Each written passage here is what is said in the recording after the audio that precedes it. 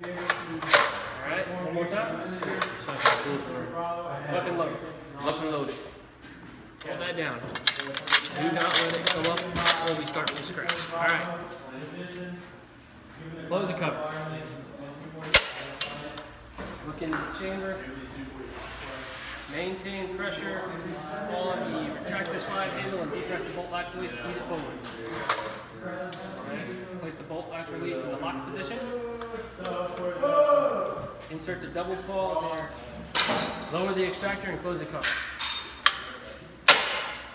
Pull back on the charging handle and lock it to the rear. Okay?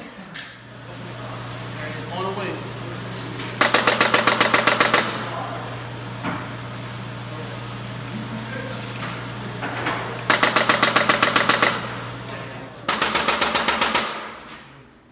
There.